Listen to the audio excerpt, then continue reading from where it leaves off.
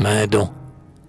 Ô vieil Homère, aïeul des poètes, du profond de ce tertre, je t'adresse un salut. Les chanteurs d'aujourd'hui se raillent des ancêtres. Ils fuient ton ombre large comme celle d'un chêne et vont se brûler au soleil.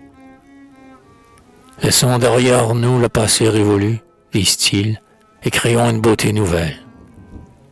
Et leur sottise les remparait à l'architecte qui rêverait un temple sans assise.